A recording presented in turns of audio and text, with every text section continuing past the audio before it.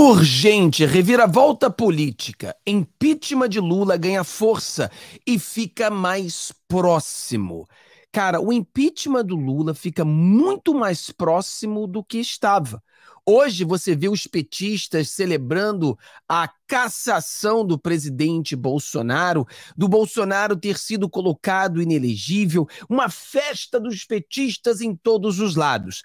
Mas a realidade é uma só esse impedimento do Bolsonaro, essa cassação ao Bolsonaro, agora que Bolsonaro é uma carta fora do baralho, o impeachment do Lula fica muito mais próximo. E muitos acreditam que já é uma coisa eminente. Vá no comentário e diz para mim, você acredita que agora o impeachment do Lula está mais próximo? Se você acredita que sim, coloca que sim. Se você acredita que não, bota não. Quero fazer uma enquete aqui para a gente ver quem é que, como é que vocês estão pensando sobre isso aí. Meu nome é Fábio, aqui do canal Vida Gringa. Se você não está inscrito no canal ainda, inscreva-se no canal. Já estamos chegando dos 280 mil inscritos, graças a você. Nós precisamos, nessa hora em que o Bolsonaro foi injustiçado, é nos unir. Vamos nos unir, porque nós precisamos usar aquele ditado que diz: o que ri por último, rir melhor. Eles estão rindo da gente, eles estão fazendo chacota da gente, mas chegará o nosso tempo de rir. Aquele que ri por último ri melhor. Então espalhe isso aqui para o grupo de WhatsApp, Telegram, em todos os lados. Vamos fazer um trabalho para que nós venhamos vencer, para que o Brasil vença. Uma coisa é certa: o Brasil não pode virar um comunismo, o Brasil não pode virar uma Venezuela, não pode virar uma Argentina. E isso vai depender de você. Cada um de você trabalhando junto para essa vitória do nosso Brasil. O nosso trabalho é totalmente independente, não recebemos dinheiro de ninguém, então você é aquele que apoia o nosso trabalho. E tá aqui, ó, vidagringapix@gmail.com pix.com. É uma maneira de você ajudar o nosso canal. Esse Pix vai estar no nome da Terezinha. Não se preocupe com o nome, é o que nós temos hoje, aonde vocês podem ajudar, tá bom? Então vamos direto ao assunto, fazer essa analogia aqui do que saiu até na grande mídia. Isso aqui é muito interessante. Olha isso aqui para você entender do que a gente está falando. Vamos aqui botar isso aqui. Você olha o que eu venho falando a vocês já há algum tempo. Olha isso aqui. Inelegibilidade, inelegibilidade de Jair Bolsonaro é notícia ruim para Lula. Eu venho falando isso para você já tem algum tempo que que a jogada da, dos três pilares, quando você olha os comunistas, Lula agora comunista, confesso, ele diz, ele tem orgulho de ser chamado de comunista. Você tem os globalistas, você vê a Rede Globo, meio de comunicação, você vê as Forças Armadas, tudo globalista, e você vê os conservadores, eu e você, que lutamos pela liberdade, lutamos pelo Brasil melhor. Então nós temos esses três grupos. E a visão foi sempre a mesma. Os globalistas se juntaram, né, se uniram aos, aos comunistas, ao Lula, para conseguir derrubar o Bolsonaro. Uma vez o Bolsonaro derrubado, eles ainda tinham medo do Bolsonaro se levantar. Então, eu acho, isso aqui na minha opinião, tá, pessoal? Essa, essa, essa, esse julgamento do Bolsonaro, esse era o plano B deles. Se Bolsonaro tivesse ganhado as eleições, eles tinham já o plano B. Por isso tanta pressa para julgar o Bolsonaro. Esse julgamento ele estava preparado mesmo em caso que Bolsonaro ganhasse as eleições e eles tirariam Bolsonaro do poder usando o plano B. Essa sempre foi minha visão. De qualquer forma, eles fariam de tudo para tirar o Bolsonaro do poder. Uma vez que Bolsonaro não é mais presidente, eles precisavam acabar com a imagem de Bolsonaro. Isso nunca vai acontecer, porque eu e você não vamos largar a mão do Bolsonaro, nós vamos continuar lutando para isso. Mas a visão era essa. Uma vez a carta, o Bolsonaro sendo uma carta fora do baralho, agora a gente pode brigar. Lula e o sistema começam a brigar nesse momento. Por isso que já se fala de impeachment. Vamos entender. Olha só o que essa matéria diz aqui e você diz para mim se você concorda. Inegibilidade de Jair Bolsonaro é notícia ruim para Lula. Sem o ex-presidente no circuito, o antipetismo caminhará isolado. Direita agora busca opções que herdem capital político bolsonarista. Então você sabe que os globalistas criaram né, um monte de mentira, mas infelizmente as mentiras, a manipulação foi colocada na cabeça de vários brasileiros. Vários brasileiros acreditavam que Bolsonaro era malvadão. Tem brasileiro que acredita que Bolsonaro era, era canabalista. Tem brasileiro que acreditou que Bolsonaro matou as emas lá na, em Brasília. Tem brasileiro que acreditou em tudo que a mídia falou. Eram 24 horas por dia inventando, criando narrativas contra o presidente Bolsonaro, que era fascista, futebolista, boxista, matou ema, é, é, comeu pessoas. Quer dizer, é uma coisa louca. Mas, infelizmente, muitas pessoas acreditavam. Então, nós tivemos duas narrativas feitas: as narrativas mentirosas contra o presidente Bolsonaro, que, que falavam ele que era tudo, tudo era culpa do Bolsonaro. Fizeram até agora culpando quase o Bolsonaro pelo submarino que afundou. Uma coisa assim absurda. Do outro lado, você tinha a narrativa verdadeira contra o Lula, o antipetismo. Então nós tínhamos duas narrativas. O povo 30 milhões de pessoas não votaram, votaram em branco ou simplesmente nem foram às urnas, e várias as outras votaram por manipulação. Mas a verdade é que tinham duas narrativas. Existia o povo antipetista, que a maioria do povo brasileiro tem um sentimento antipetista, a maioria do povo brasileiro realmente não gosta do Lula, sabe do, dos escândalos de corrupção, não esqueceu, mas foram contaminados a votarem no Lula porque na cabeça deles o Bolsonaro era pior. Agora, com Bolsonaro fora do baralho, muda tudo. Vamos lá. Apesar da lacrosfera petista está comemorando aos quatro cantos que o TSE determinou inelegibilidade de Jair Bolsonaro por oito anos, quem pode ser impactado com essa decisão do tribunal é o seu principal adversário, Lula. Explica-se.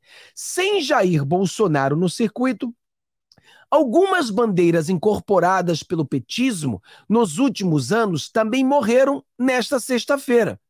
Cara, essas essas uh, bandeiras não foram incorporadas exatamente pelo petismo.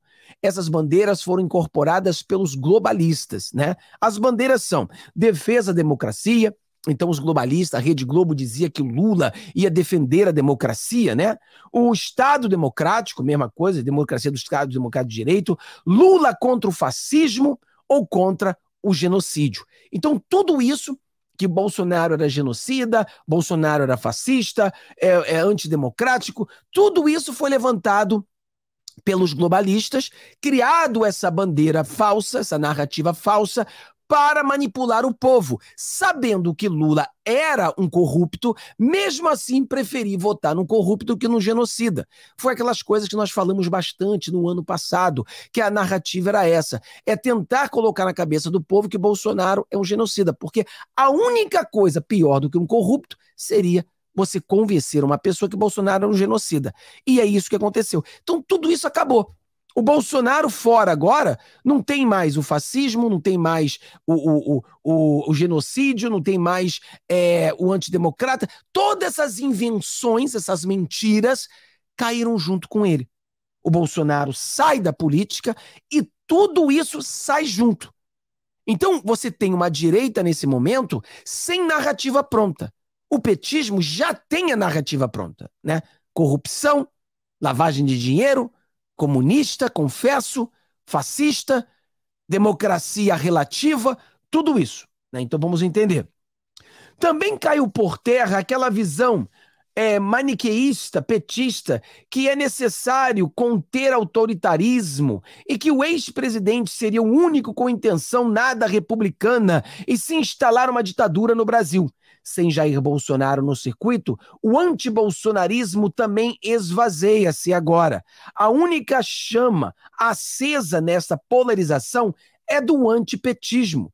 E Lula, queira ou não, vai ter que lidar com toda uma rejeição que ainda está viva na mente do brasileiro médio principalmente os escândalos de corrupção. Sem Jair Bolsonaro no circuito, caberá à direita trabalhar por um nome que seja viável politicamente. As opções existem: Romeu Zema, Tarciso de Freita, Tereza Cristina, Eduardo Leite, são apenas quatro das opções, e todas elas sem a rejeição de Bolsonaro, sem esse recal ruim, sem polêmicas das costas. Então, nas costas. Então você vê uma matéria totalmente globalista, isso aqui é uma matéria globalista, e eles colocando a opinião deles. O que, que eles estão dizendo praticamente? Praticamente eles estão dizendo que o Lula pode ser impeachmentado a qualquer momento.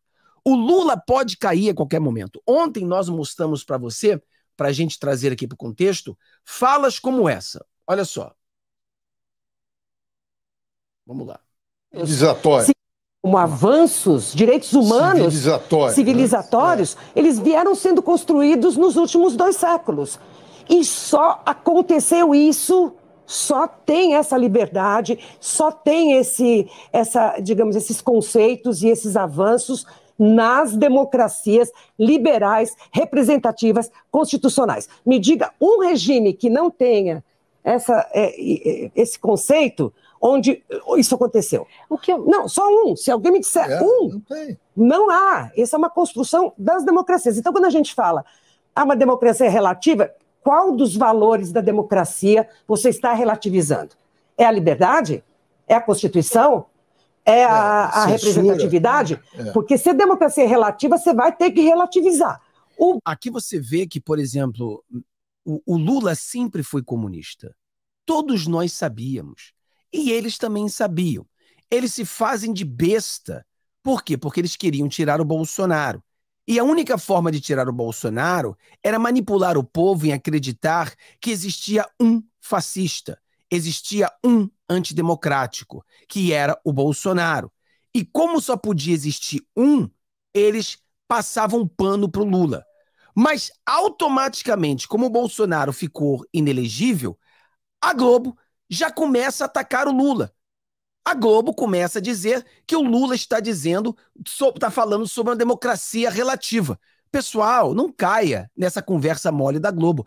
Eles sempre souberam disso. A diferença é que agora estão dando uma de um sem braço, como que ficaram surpresos. Por quê? Porque agora eles querem levantar essas pessoas que foram manipuladas a apontarem o canhão para o Lula.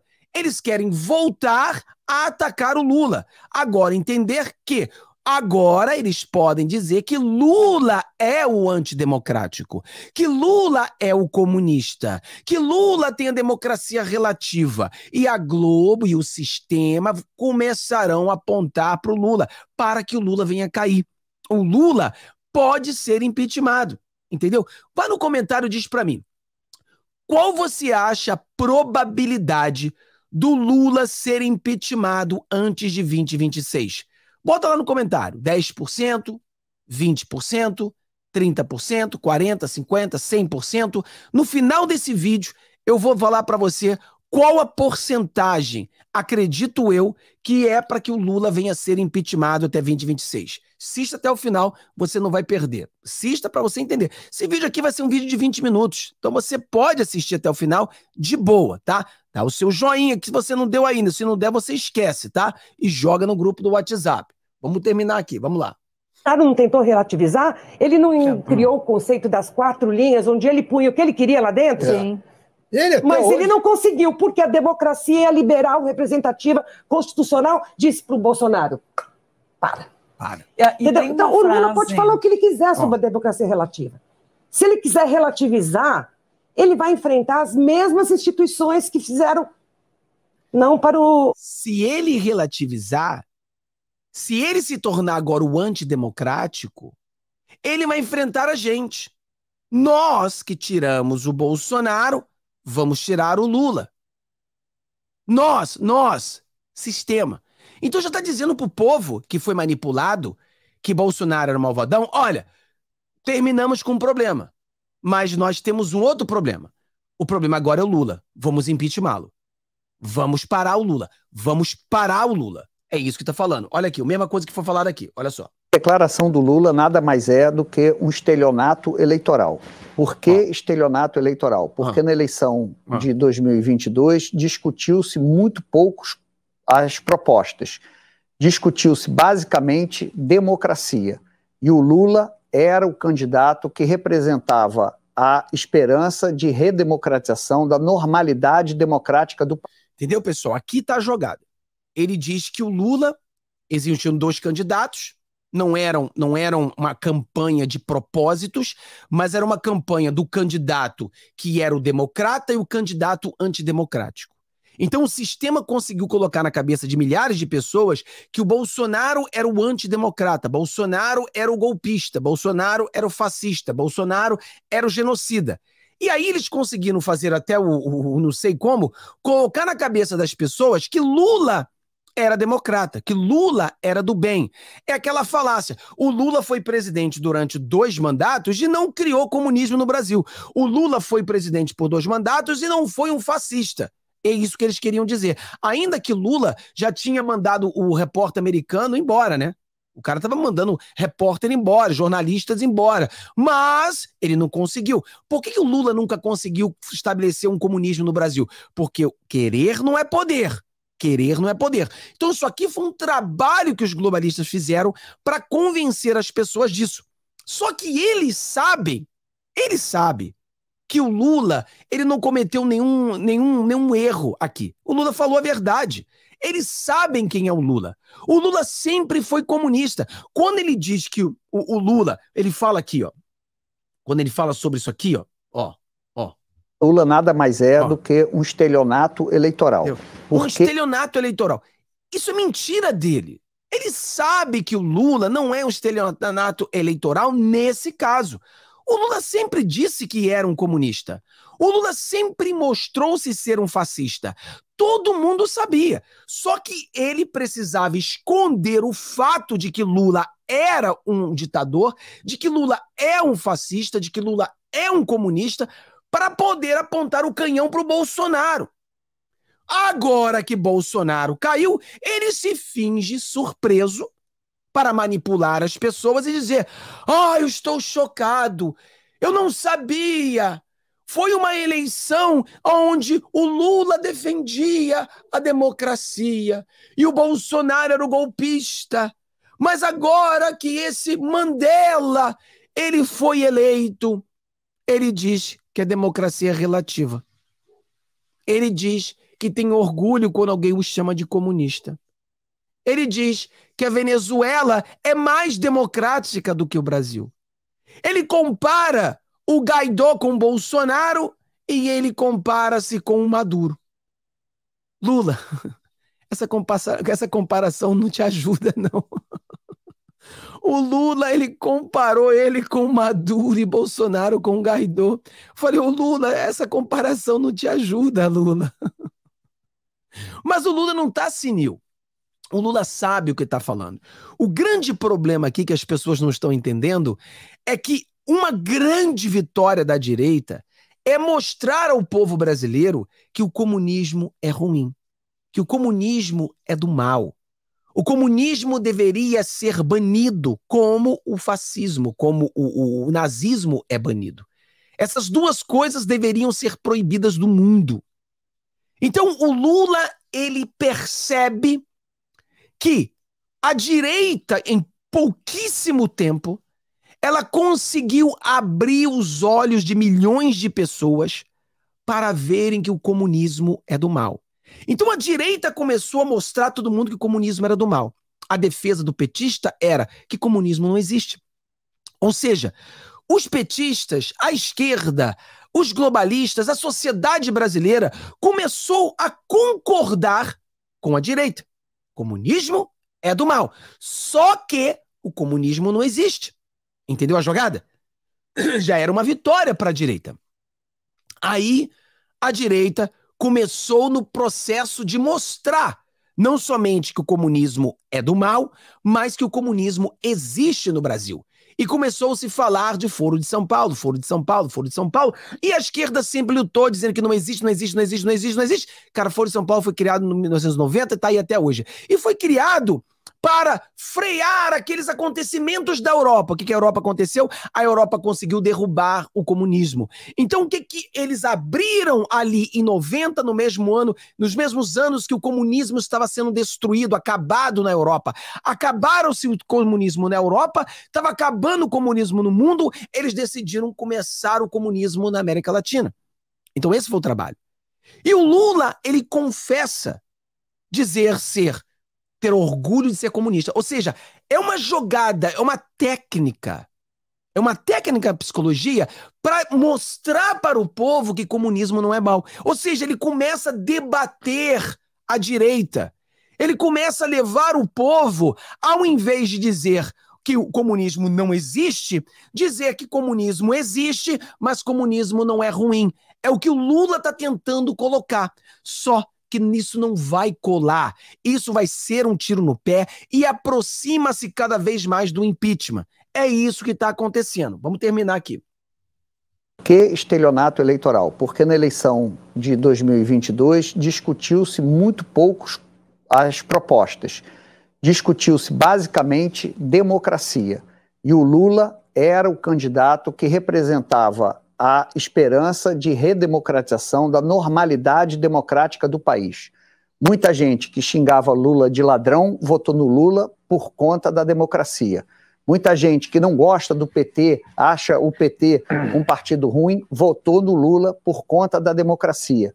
Muita gente que detesta Lula, PT, esquerda, votou no Lula nessa eleição porque do outro lado estava alguém muito parecido com Maduro, alguém que relativizava a democracia.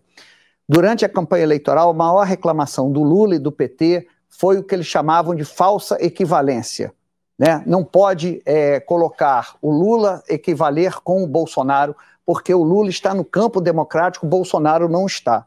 Então, diante disso tudo, o Lula via agora e relativizar o que é democracia, ele está dando um tapa na cara, por exemplo, de todas as pessoas que reagiram quando o Bolsonaro fez a reunião com os embaixadores e teve aquela movimentação da sociedade civil em defesa o quê? Da democracia. Ele, ele, ele fala tapa na cara, né? Eu lembro, eu lembro disso aqui quando ele fala tapa na cara. É os, é os petistas nos grupos de WhatsApp essa semana, ó.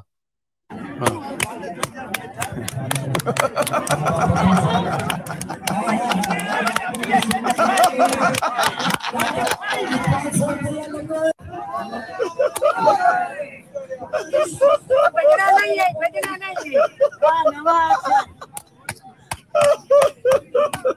Ah, meu Deus do céu, cara, não dá pra passar. Mas você vê, pessoal, então essa foi a jogada. A jogada é que eles sabiam que o Lula é, é, corrupto, sabiam de tudo isso. Então, a Globo, os globalistas, os tucanos, a direita limpinha, os liberais, eles tiveram que esconder o fato de que Lula era tudo isso, não falar sobre isso. Você vê que, olha só a estratégia, entenda a estratégia. Nós não podíamos dizer que Lula era amigo do Maduro. Nós não podíamos dizer que Lula era amigo do Ortega. Nós não podíamos dizer que Lula era amigo do Putin.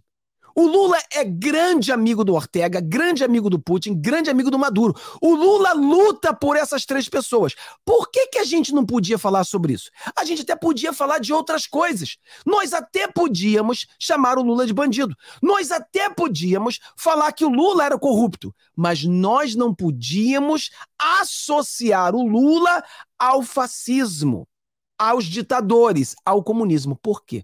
Porque tinha que ser uma visão única. A jogada dos globalistas era: só o Bolsonaro pode ser visto como fascista. Porque essa vai ser a forma da gente manipular a população brasileira a votar contra o fascismo, contra o genocida e votar no outro, ainda que o outro seja um corrupto. Ainda que eles não gostem do outro, eles vão votar para o outro por causa que esse é um fascista. Entendeu a jogada? Essa foi a jogada. E olha só, tem mais aqui. Vamos ver essa aqui. Tem mais aqui para a gente poder terminar. Galera, não esqueça de dar o joinha se você não deu ainda. E a gente no final vamos falar a porcentagem. Olha isso aqui. Fale mais, Lula. Quanto mais Lula deixa vir à tona aquilo que de fato acredita, mais claro fica que está na hora de encerrar o seu siglo na política. Olha isso. É ou não é um pedido de impeachment?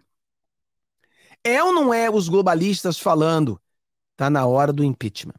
Tá chegando a hora do povo ir pra rua. Você fala, mas Fábio, o povo não pode ir pra rua porque o povo tá com medo. É, mas o povo vai às ruas junto com os globalistas. Por isso que o povo irá às ruas. E você verá isso. Vamos lá. Lula precisa ter reda solta para falar. É preciso abrir mais e mais espaços para que ele se expresse em toda a liberdade. Quanto mais Lula fala, quanto mais deixa vir à tona aquilo em que de fato acredita, mais claro fica que está na hora de encerrar o seu ciclo na política. Isso aqui, aqui você vê na Globo dizendo que o Lula vai ser, se ele não parar, ele sofrerá o mesmo que eles fizeram com Bolsonaro, e aqui eles dizem claramente sobre o impeachment, encerrar o siglo político. Mas agora que o Bolsonaro está fora do baralho, eu acho que essa probabilidade ela sobe aí talvez para 20%. Eu diria que Lula hoje nós temos que ver os mais acontecimentos, isso pode subir. Nós temos que entender que o impeachment é igual um jogo de futebol. As pessoas só querem gol. As pessoas só querem impeachment.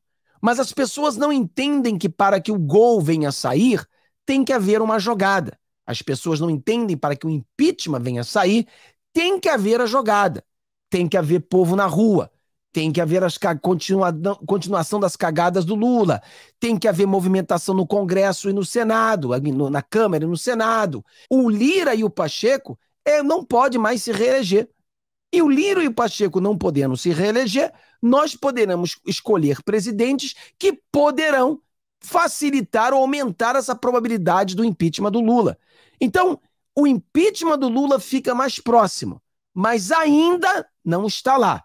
Precisaremos lutar mais, precisaremos nos unir mais para que isso aconteça. Mas vamos lutar nesse caminho. Vamos tentar eleger um presidente do, da Câmara e um presidente do Senado que estarão abertos para o impeachment do Lula. Então Deus abençoe todos vocês, que vocês tenham um dia maravilhoso, que coisas boas aconteçam na sua vida. Não se esqueça de assistir os nossos vídeos que colocamos todos os dias, seis da manhã, quatro da tarde e às 20 horas. Deus abençoe a todos. Te vejo amanhã. Tchau, tchau.